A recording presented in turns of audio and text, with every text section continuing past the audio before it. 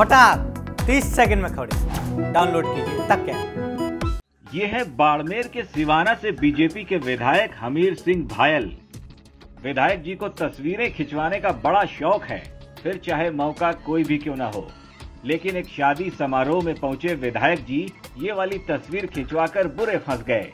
खुद विधायक जी ने बड़े ही शौक से ये तस्वीर सोशल मीडिया पर पोस्ट की थी। लेकिन इसी तस्वीर की वजह से बीजेपी के विधायक हमीर सिंह ट्रोल होने लगे।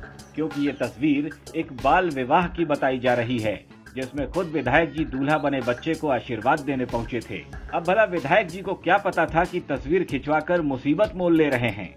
खैर, विधायक जी ट्रोल तो हो ही गए, लेकिन सफ़ाई में जो बात इन्होंने कही, वो भी बड़ी मज़ेदार है।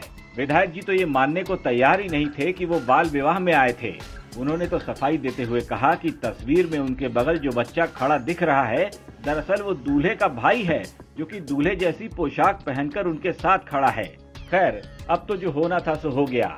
लेकिन इन तस्वीरों से इतना तो साफ़ हो गया कि विधायक जी को अगर अपना वोट बैंक मज़बूत करने के लिए बाल विवाह जैसी कुरीति को भी बढ़ावा देना पड़े तो वो पीछे नहीं हटेंगे। राजस्थान तक के लिए बाड़मेर से दिनेश बोहरा की रिपोर्ट।